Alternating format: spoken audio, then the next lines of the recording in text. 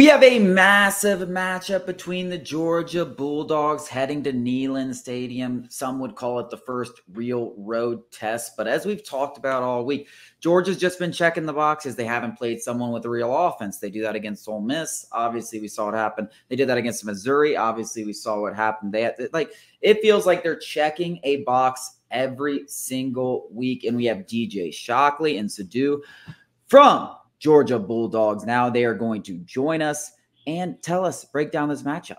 Chase and Alex, what's up, man? I appreciate you guys having me on your show. I appreciate it. As you can see behind me, Bulldogs Now, which comes on on Saturday mornings at 8 o'clock. You can tune in and watch that any single time you want, or on Fox Local as well. But guess what? That's I got right. my man Suda Upadale with me, and we are going to talk about the big matchup on Saturday between the Tennessee Volunteers and our Georgia Bulldogs. And of course, I mean LSU probably. I mean, yeah, lost a couple games. Rough. It's rough on those. They might guys. have a Heisman winner at least. Yeah, they might. But hey, we're talking about winners right now, and this the winners are the dogs. You remember? Big, the Rebels, I went to school at Ole Miss, also yeah. beat LSU this year. Ooh, so that's a good I'm not right trying to. I'm not Sorry trying to start anything. I'm just saying. Sorry, know, fellas. Just to we put it on the record. We got to get those digs in when we can. You know, purple and gold. We got to keep that. But serious enough, man. Talk about the dogs. Big game versus Tennessee. Monumental matchup. Obviously, yeah. everybody thought coming into this game right. that it would mean a lot more than it did. Tennessee's lost three games, but guess what? This still is a huge ball game in Neyland Stadium. Joe Milton, a guy who everybody is excited to watch, has played pretty good this year 16 touchdowns, five interceptions. Georgia has to do a good job of one, I think, stopping the run this ball game. Absolutely. What I mean, do you think? They've got some dogs on the in the backfield. You know, yeah. I'm not trying to call them dogs, but you know what I mean. yeah. Jaylen Wright, you got Dylan Sampson, then Jabari Small as well. Really a three-headed sure. attack there. They're doing a great job running the football. A lot of injuries on offense, right? Yeah. They lost Dont'e Thornton at receiver, Bru McCoy. Milton's season hasn't been, I guess, what we thought it would be. A lot of people were trying to compare him to Anthony Richardson yeah. a year ago. Hasn't had that season. But still he's, but he, he's still been good though. He's, he's got, got, a huge arm. He's got man. over 300 yards rushing. He's got a huge arm. He's been doing that. Tennessee is tough in Neyland Stadium. They hasn't lost there since 2021 when they played the Dogs in that game. So this will be a great matchup, I think, between the Dogs offense versus that Tennessee defense. Carson Beck has played really good football. They got Ladd back. Brock came back last week. Now that's a, a really tough matchup. And then we saw my man Kendall Milton go for over 100 yards last week, career high going for over 100 yards. This is going to be a fun matchup to watch in this ball game. If Georgia can control the line of scrimmage, if they can play good on third down, this can be a game that they can dominate, and it starts up front with the offensive line. They've done that pretty much this year, averaging over 180 yards a game. So look for Georgia to be able to run the football, but also play action pass and hit some deep shots. Yeah, and look, you've played in Neyland Stadium. We know just how engulfing of an environment it is. Yeah. I'll give you all this. Tiger Stadium, probably the, crazy, the craziest crazy. environment I've been in. Neyland's right up there. You told me, though, you thought Tiger Stadium was worse as, as a quarterback to play in, right? Chase, Alex, I give you guys a little credit. It is a tough Death place Valley, to play. man. I remember first time going there, they rocking our bus, little kids doing some unforeseen things to us as we get off the bus.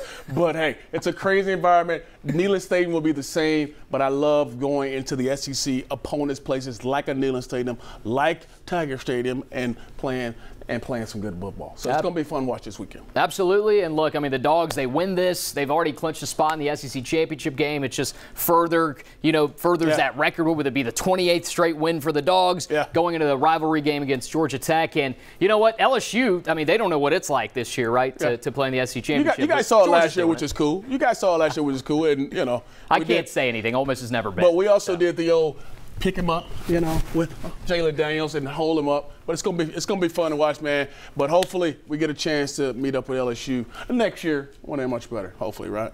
Absolutely. I'd love to see it. I don't. I like. Listen. I like. Th- th- there's some things that are unnecessary there. Like, why, why, why, why do we have to throw in the cheap shots at LSU? Especially, we get an Ole Miss guy, we get a Georgia guy, and and there's there's there's a lot of years where you know there's never been a word said out of Ole Miss mouths. But like, listen, like I, I'm a big proponent of talking trash when you can back it up. And this year, like LSU clearly can't back it up, and and it is what it is. They let us go. In. But let's focus on this game, right? on uh, like this is uh everything that Tennessee fans have been begging for like they get them coming in there and there's going to be things where like yeah sure Tennessee thought they were going to be better right like they they they they thought in their heads like Joe Milton could have been the guy blah blah but he's not like I don't I don't think Heupel's a bad coach like I mean like you're 7 and 3 like at the end of the day like if somehow you win this game like you win 9 games at Tennessee like let's stop acting like Tennessee is the program that they used to be like that like you come off a big season, you win nine games, you win eight games, whatever. Like it's not the worst season ever. But this is their Super Bowl. Like this is everything they've been preparing for since last year after what happened when they were number 1 and everything. Is there any way like eh, eh, like I DJ broke it down, is there any way that they could they could somehow make this close? I know we've talked about it a little bit. You, have kind of said, "Oh, the spread doesn't make any sense somehow." But like give me the details. Like like what is the scenario that they somehow make it close? I want to preface that answer with Sudu, DJ, my guys. We're just taking shots at LSU for no reason. Hang on, we might not. It's not a might, Jayden Daniels Heisman. He is the Heisman front runner today. There's no doubt about that. LSU season as a whole has been disappointing, but we can hang our hat on the Heisman. Obviously, you'd rather be in Atlanta playing than a Heisman, but back to the game of the week, obviously. Neyland's going to be rocking. And there are a couple of things to me that Tennessee has to do if they want a chance in this game. Obviously, when you face a Kirby Smart coached football team, mistakes. You can't make mistakes. And mistakes meaning turnovers. You cannot turn the ball over against a Kirby. You in fact, you need to force turnovers. You need to force Carson Beck into uncomfortable situations. Now, I want to also follow that up with I'm an LSU guy, but I see virtually no way that Tennessee wins this game uh, unless that Georgia just absolutely implodes. Carson Beck, Bobo, the Georgia offense is absolutely hitting their stride at the right time. Not only is Bobo are Bobo and Beck figuring it out one another, they're also getting healthy. They're getting healthy along the offensive line. Ladd McConkey's back. Brock Bowers is back. This might be the best receiving corps I've ever seen the Bulldogs have. This is an this is um, I, I don't want to give any Tennessee fans hope because of the spread. You have no hope. This is a runaway train, and you better get off the rails because they're coming. This Kirby Smart football team has their has their sights set on higher goals than Neyland. I do want to say that place is going to be absolutely rocking. We'll see how Beck we saw how he Here, took the Auburn, the Auburn, the Auburn crowd played a played a factor in that game a few uh, a month ago or so.